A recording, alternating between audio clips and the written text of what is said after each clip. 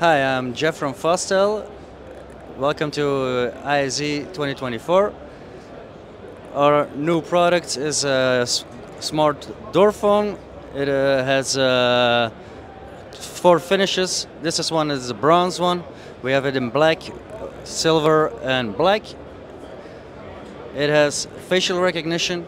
It has a QR code scanner. It has uh, uh, the badge system and it calls to our latest models of all the monitors.